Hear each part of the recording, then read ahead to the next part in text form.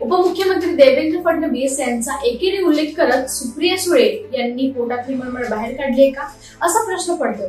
आणि यावर महायुतीनं दिलं हे प्रत्युत्तर महाराष्ट्र राज्याचे उपमुख्यमंत्री देवेंद्र फडणवीस यांना टार्गेट करताना सुप्रिया सुळे यांचे विषारी जातीय राजकारण उफळून आले.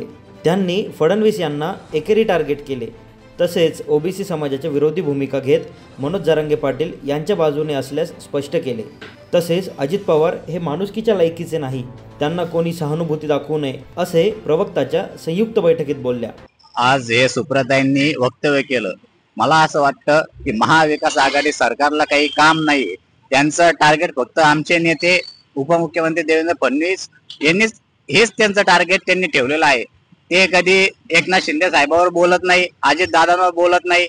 ते फक्त टार्गेट आमच्या नेत्यांनाच देवेंद्र फडणवीस साहेबांनाच करत आहे. कारण की या महाराष्ट्रात जो चाललेला विकास लाडकी बहीण योजना त्यामुळे त्यांची सगळ्यांची पोटदुखी झालेली आहे.